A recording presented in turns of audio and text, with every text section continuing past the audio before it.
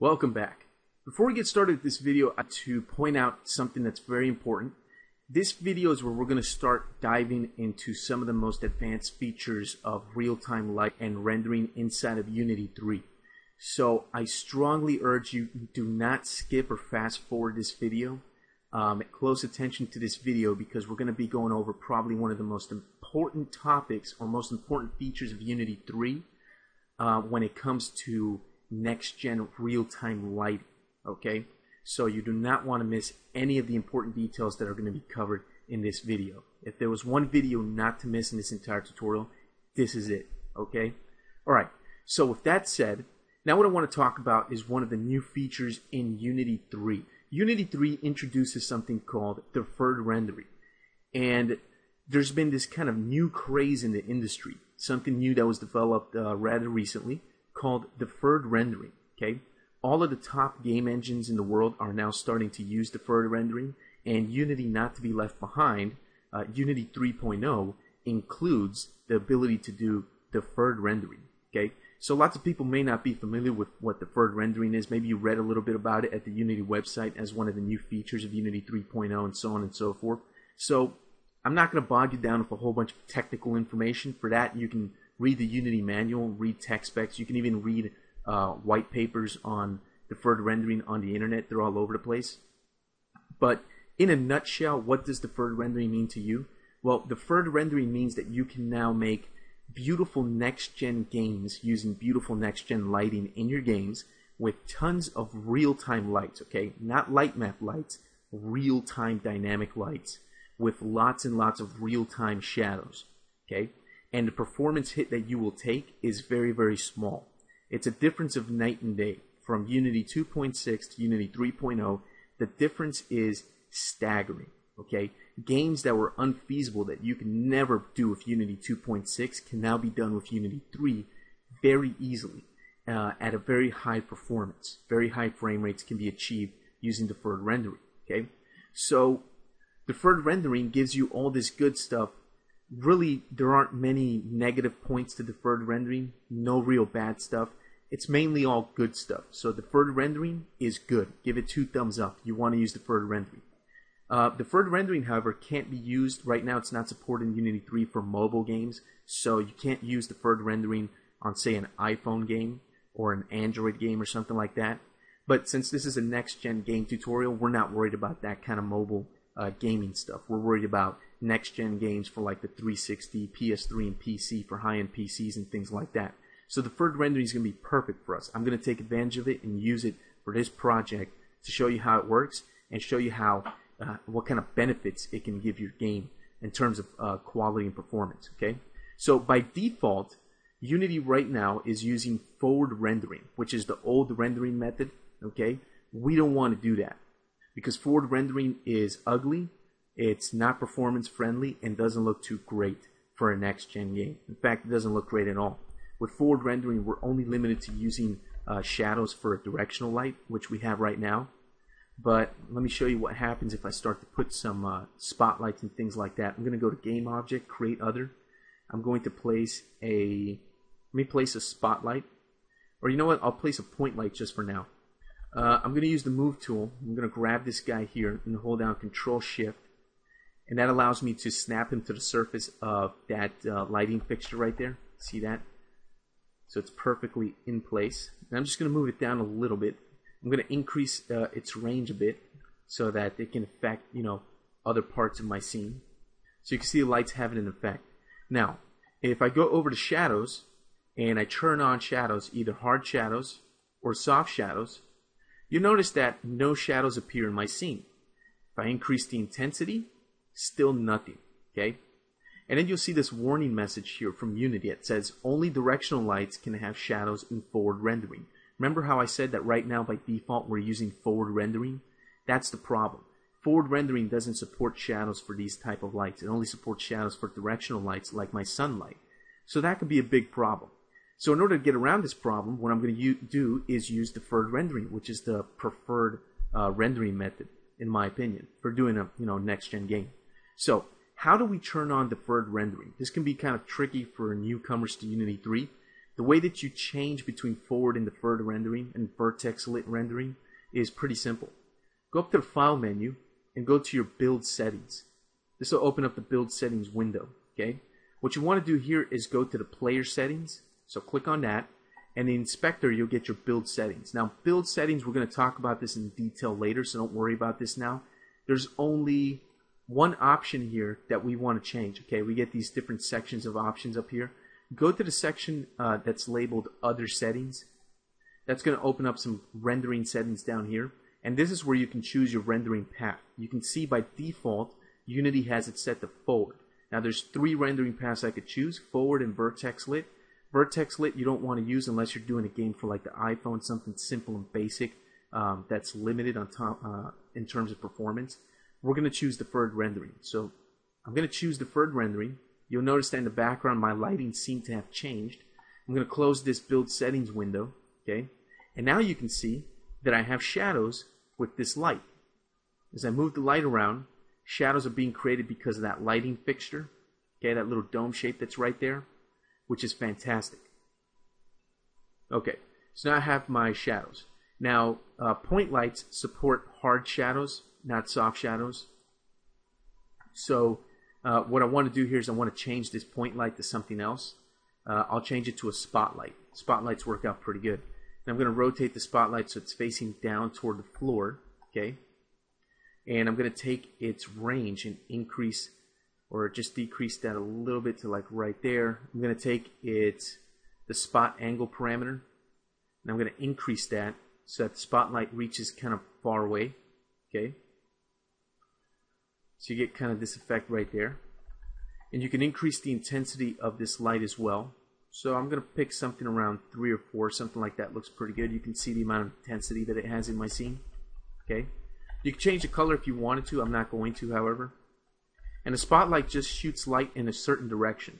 Uh, anything behind this yellow cone angle will not receive any light from the spotlight. Okay. All right. I'm also going to move it down just a little bit. Maybe, I guess right there is pretty good. That's not bad. And the angle here, I'm going to keep it about right here looks pretty good. Okay, so about 140, 142 looks pretty good. Uh, again, intensity you can change to uh, whatever you want. Okay, so the next thing that I can do here with this spotlight is change some of these settings over here. The shadow strength, for example, I can change that. If I look at the shadows being cast down here on the floor by these wooden crates, okay, if I lower the shadow strength, you can see that the shadow starts to disappear. Uh, I like to have a shadow strength of 1 since that looks the most realistic. And um, for the rest of this stuff, let me see. Maybe I'll take the uh, the range here and increase that. I want to increase the range that way the light reaches a little bit further into the scene, which looks pretty cool. Look at the uh, the back wall right there where those doors are. It looks pretty nice. Okay. You can turn on the uh, having the shadows on will not hurt your performance very much when you're using deferred rendering, so it's actually pretty good. Over here I have uh, hard shadows turned on. If I want to, I could turn on soft shadows. You can see how that softens up. I'm going to have soft shadows on for now. Looks pretty good. Okay. Uh, the next thing I'm going to do here is I'm going to show you light cookies. Okay. Over here under the cookie parameter we have none. Basically we can use these grayscale texture maps to create light cookies. So let me show you how that works. If I click on this little round circular button over here next to uh, where it says the parameter here for, for the texture, click on that and you can look at uh, for light cookies. Now, one of the standard assets that uh, comes with Unity is the cookies, the light cookies, and I have these two kind of light cookies over here, flashlight and flashlight irregular. I'm going to use the maybe the flashlight irregular. Double click on that, okay? And if I take the spot angle and reduce it, you can see that I have this really cool shape here of the light. Uh, just makes the light look a little bit irregular, and more realistic. Okay, uh, it may hurt, it may reduce the amount of lighting though in my scene at the moment, so I'm going to switch that from flashlight irregular. I'm going to go with maybe just a regular flashlight cookie, which looks pretty cool. So you can see I get these, this kind of uh, light banding over here, and over here on the door, on the walls back there, which looks a little bit more realistic. I like using that. Just adds to my light and makes it look even better uh, than before. Okay. We're not going to worry about these render modes. For example, the leave this on auto is perfectly fine. That works with the forward rendering path, which we're not using, so it's kind of irrelevant. Okay. Uh, we're not going to use culling masks. Uh, one of the downsides to using uh, deferred rendering is that culling masks are very, very limited. Okay, so we're not going to be able to take advantage of the culling mask feature. But that's not a problem because deferred rendering works great anyway, so we really don't need the culling mask feature uh, anyway. Okay, so we have that light casting shadows. Next thing I want to do is I want to take that same light. I'm going to hit Control and D to duplicate. And you can go to the Edit menu and you can duplicate from here. Okay, but I like to use the shortcut, which is Control D. I'm going to move this light here. I'm going to take this light and switch it over to a point light. Okay, so it lights up the inside there of that lighting fixture because before it was pitch black dark and it looked very unrealistic and bad. So I'm going to take the range of this point light and I'm going to reduce it because I want this point light to only affect that lighting fixture right there. See that? The inside part right there? That's what I want it to affect. And what I'm going to do is I'm going to have it have no shadows, so cast no shadows whatsoever. And for the intensity, this looks pretty good. About an intensity of about 4 looks pretty good. Alright? Now I'm going to take the spotlight, which is right there, and I can add something like a flare. Okay, so I'm going to go to the flare parameter, and Unity comes with these flares right here, these default flares. Okay, um, I'm going to take and use the small flare. And if I turn on the effects over here, you can see the cool little flare that I have right there. It looks pretty nice. Just adds a little bit of an extra touch to the light. Okay, so that looks pretty good. Now what I'm going to do is I'm going to come over here and I'm going to create a light over here. Now you can see that I have this strange light bleeding. If I come over here to the ceiling, you can see that I have this light bleeding on the edges. Okay, um, This can be caused based on how your geometry is set up. Right now I have this roof piece that's blocking the light from the sun. Okay, So what I want to do with this roof piece here is I might want to move it up. Okay, let me just move my camera here so I can see this a little bit better. The pivot point is way over here. Let me just move over here. Okay. You can see the little light bleeding up there. What I probably want to do is take this little roof piece and move it up just a nudge. And when I nudge it up just a little bit, that light bleeding goes away. Okay. Now, if I come over here, trying to find more of that light bleeding and I can't find any more light bleeding, so I think we're good. Okay. All right, that's pretty good. Okay, this wall over here also has some light bleeding. So if I take this wall, you can see I have some light bleeding on the on the bottom right there. So what I'll do with this wall is, instead of moving it, because I don't want to move this wall, um, that would mess up the scene. So what I want to do here is instead, I'll take this wall. Let me switch over to center mode right there. I'm going to hit Control D to make a duplicate now when I do that, I'm changing a prefab, so Unity's going to warn me about that. I'm going to hit continue. I don't mind losing the prefab. And I'm going to move this new piece of wall to the uh, behind that one until it completely blocks it right there. And another thing that I'm going to do is I'm going to rotate that wall as well. So I'm going to rotate it, and I'm holding down the control key as I rotate to rotate uh, using snaps. So once I have that one position, you see that my light bleeding down there on the floor goes away. It's perfect. Alright.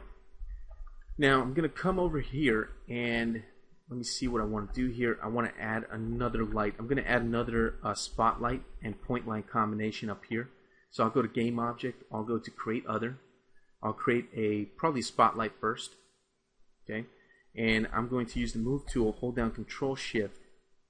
Just drag that right there to snap that into position. I'm going to rotate this light so it's facing directly downward. Needs to be positioned a little bit better, so right there. Again, holding Control and Shift lets you position that very easily. I'm going to take the uh, range and increase it, so it's kind of going through the floor a little bit right there. I'll take the spot angle and increase that as well. So I'll do something that looks like, something like this is pretty good. Okay. Again, you can use the cookie to make the light look a little bit more realistic. Just kind of sells the effect a little bit better. And I can increase the intensity right here. Make it look a little bit better. Maybe move it down to about right there. Looks pretty good. And again, you can play around with the intensities. I'm going to add shadows to this, soft shadows, which will look pretty good. And the intensity and the color I'm going to leave alone. The white color is perfectly fine. Again, you can change it if you want. I'm going to add that flare, so the small flare to this. I'm going to take that same light, hit Control D to duplicate it, move it down a little bit. I'm going to take the flare off of this one. I don't want a second flare there, so I'll hit none over here, remove it. I'm going to change that, no shadows, switch it to a point light, and I'm going to take the range and reduce it. I only want it to affect that lighting fixture right there. And no shadows, no flare, and there we go. Looks pretty good. Okay. If you want to, you can increase the uh, intensity of that light. Um, I don't know if I want to do that. Let me just test it out, see how it looks. No, I don't think I want to do that. I'm just going to keep it like this. Uh, maybe I'll increase the range a little bit so the light affects the area a little bit better. That looks pretty good. Okay, I'm going to say I'm happy with that.